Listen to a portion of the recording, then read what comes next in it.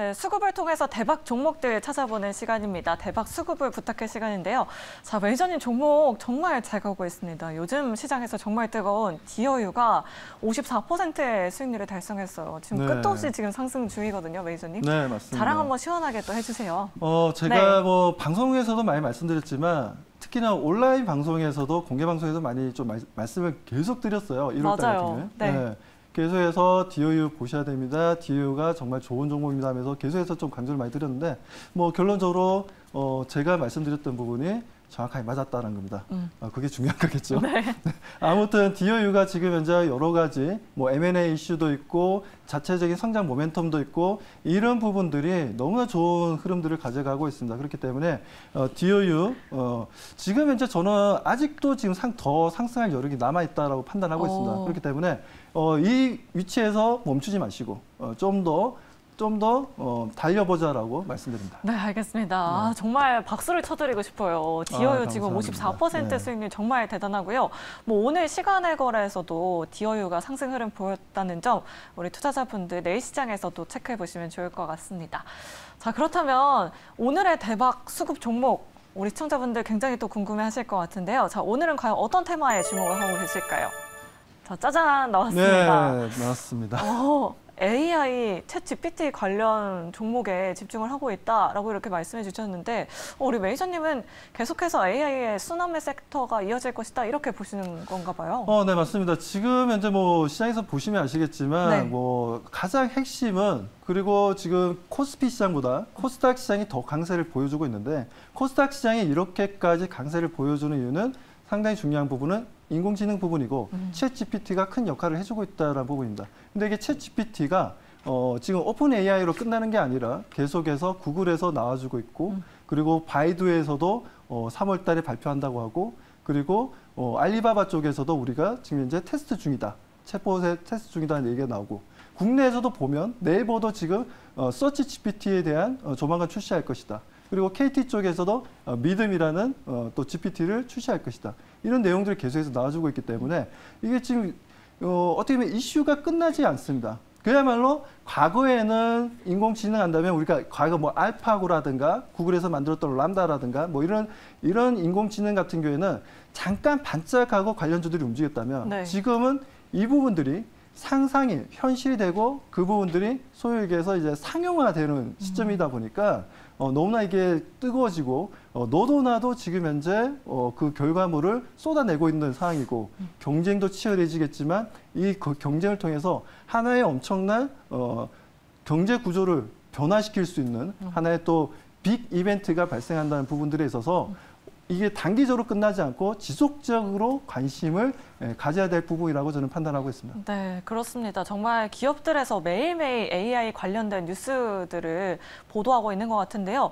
어, 사실 개인 투자자분들 입장에서는 AI 관련된 종목들이 너무 많기 때문에 아, 어떤 종목에 투자해야 하나 고민되시는 분들 많으실 것 같아요.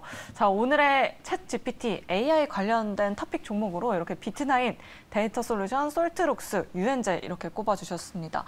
어, 이렇게 좀 보니까 어, 이 세 가지 업체가 뭐 데이터베이스 관련 된 업체이고 유엔젤 같은 경우에는 뭐 무선 인터넷 관련 업체인데 이 데이터베이스 관련된 업체에 계속해서 집중하고 있는 이유가 있을까요, 매니저님? 뭐 데이터베이스 같은 경우에는 아무래도 데이터 센터가 이제 우리가 AI가 되었던 뭐 네. 어떤 어, 어떤 부분이 되었던 데이터베이스가 상당히 좀 중요합니다. 음. 그걸 이제 백그라운드로 해서 어, 데이터베이스가 얼마만큼 완성이 잘 되어 있고 그게 얼마만큼 잘 어, 운영이 되냐에 따라서 어, 실질적인 서비스의 질이 좀 많이 좀 달라지기 때문에 네. 그 부분들에 있어서 좀 포커스를 맞췄다라고 말씀드립니다. 네, 알겠습니다. 어, 이렇게 네 가지 종목, 탑픽 종목으로 꼽아주셨고요. 자, 그럼 제2의 DOU가 될 수 있는 종목.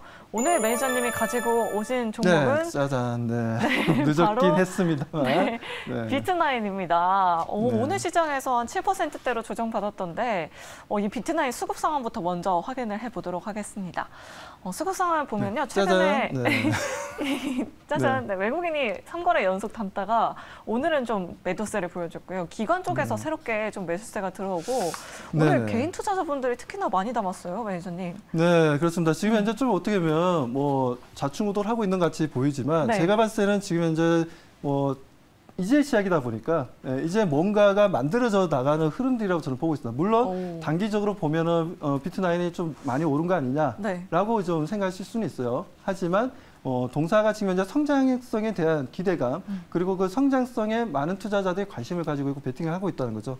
뭐 물론 오늘 외국인들의 어, 좀 순매도가 좀 많이 나오긴 했습니다만 이 부분들은 크게 걱정할 필요는 없다라고 좀 판단하고 있고요. 네. 뭐 그래서 지속적으로 관심을 가지고 있냐 없냐가 저는 더 중요하다 라는 어. 관점에 있어서 뭐 저는 점수를 좀 주고 싶습니다. 네, 알겠습니다. 일단 수급 상황보다는 좀 거래량이 그래도 많이 터진 게 좀 중요하다라고 이렇게 해석을 아니, 해볼 수 거래량이 아니라 네. 매일매일 관심을 좀 가지고 있구나. 아, 네, 알겠습니다.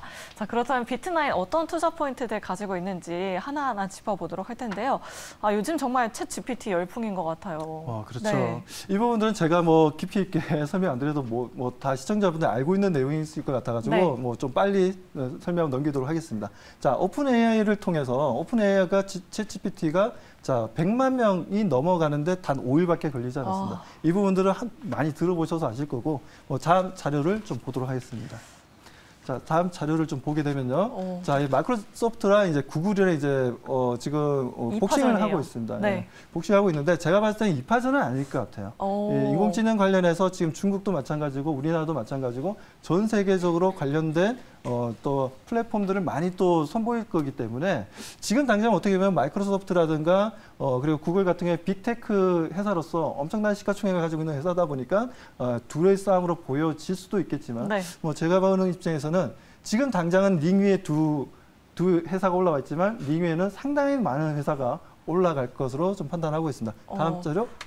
그러면 뭐 마이크로소프트, 구글 외에도 계속해서 다른 업체들이 붙을 것이다 이렇게 전망을 하시는 어, 거죠? 그렇죠. 지금 네. 이제 뭐 바이두도 있고 알리바바도 있고 음. 우리나라에서도 어떻게 보면 이제 그 어, 서치 GPT도 나온다고 하는데 네. 네이버 같은 경우에는 국내 시장만 생각하시잖아요. 음. 그게 아니라 네이버 같은 경우에는 일본의 라인이라는 또 플랫폼이 있지 않습니까? 카톡과 같은. 네. 그 부분을 통해서 일본 시장도 점유를 하고 있기 때문에 음. 어, 아무래도 서치 GPT가 나오게 되면 한국 시장과 일본 시장을 예, 시장 점유를 좀 가져갈 수는 있다라고 저는 판단하고 있습니다. 네이버에 어, 대해서. 그러니까요. 이렇게 글로벌 검색 엔진들이 굉장히 많아요. 아. 그렇죠. 네. 이 업체들이 모두 다 AI에 뛰어든다 이런 의견이신 거예요. 네, 그렇죠. 네. 그렇지 않으면 살아남을 수 없을 것으로 음. 보고 있습니다. 뭐 그러다 보니까 아무래도 지금 압도적으로 보시는 것처럼 구글이 92%예요. 전체 네. 검색 시장에서 92%인데 이 검색 시장에서 92%만 보면 아, 그러면 너무나 압도적이다. 이거 어떻게 벽을 깰 것이냐라고 생각하시는데 지금 마이크로소프트의 빙 같은 경우에 지금 3%밖에 안 됩니다. 시장 점유율이. 그런데도 불구하고 지금 챗 GPT를 통해서 시장 점유율을 좀 높여 나가겠다라는 좀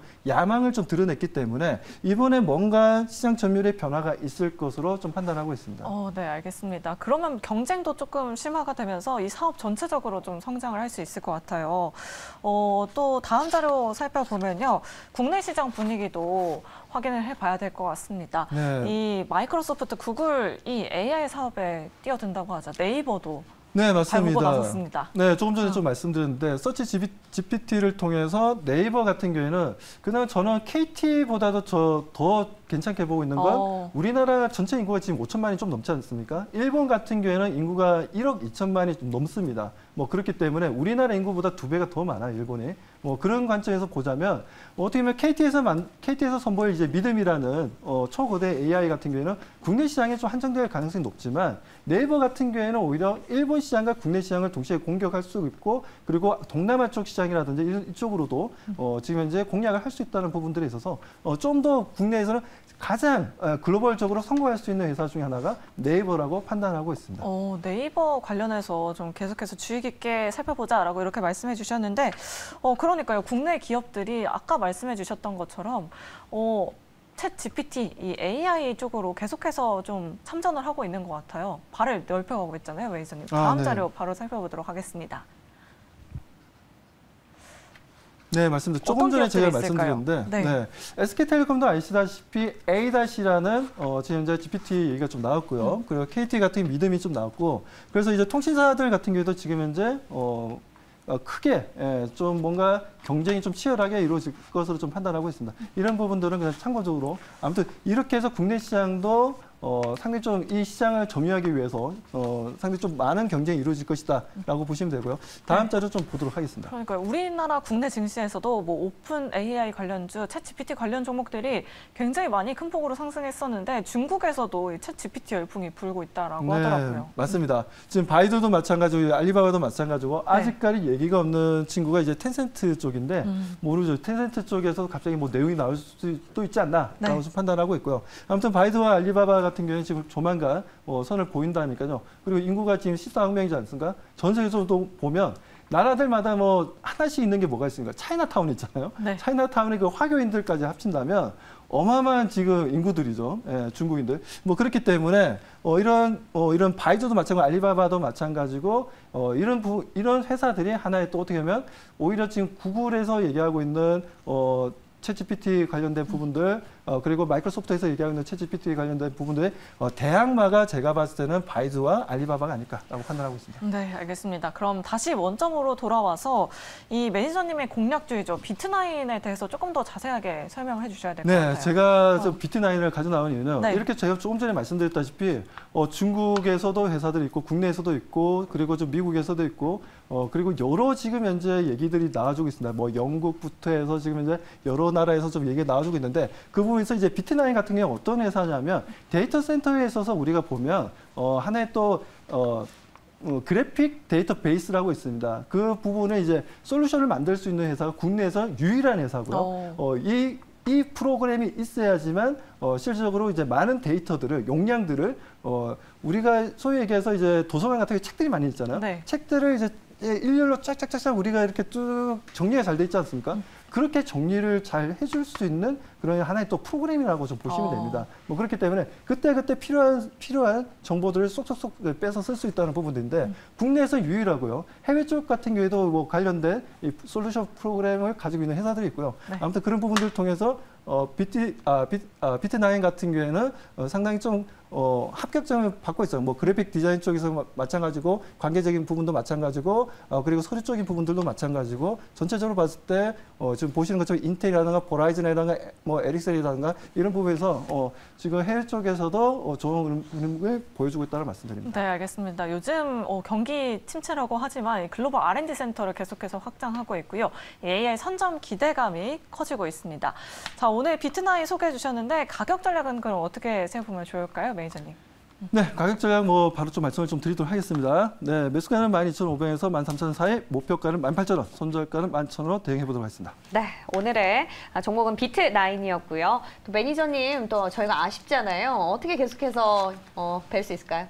어, 네. 어, 지금 이제 뭐, 어, 8시입니다. 방송 끝나자마자 또 온라인 방송을 또 시작하게 되니까요. 막 유튜브라든지 저희 사이트로 들어오시게 되면 또 내일 우리가 좀 관심을 가져야 될 어, 좋은 종목들이 있고 좋은 업종들이 있습니다. 그 부분들 말씀드릴 테니까 많은 분들 참여 바라겠습니다. 네, 좋습니다. 음, 매니저님 공개 방송 참여하셔서 더 많은 투자 정보 얻어가시면 좋을 것 같고요. 네. 자, 저희 내주식을 부탁해는 여기서 이만 마무리를 드려야 될 것 같아요. 네. 우리 지영 아나운서는 내주식을 부탁해 처음과 끝을 함께 하는데 어떠신가요? 그러게요. 제가 오늘 날짜 딱 보니까 네. 우리가 내 주식을 부탁해를 처음 시작한 지 딱 2년이 됐더라고요. 아. 그래서 이렇게 시작과 끝을 함께 할 수 있어서 정말 너무 감사드리고요. 그리고 네. 오랜만에 왔는데 또 반갑게 기억하고 맞아주신 우리 시청자분들 너무너무 고맙습니다. 네, 저희- 앞으로 네, 또 있을 스타킹 여러분들 끝까지 많은 시청해 주시고요. 저는 또 좋은 모습으로 다시 인사드리도록 할게요. 네, 알겠습니다. 저희 다음 주에 더 새로운 모습으로 다시 찾아뵙도록 하겠습니다. 네. 여러분 안녕히 계세요.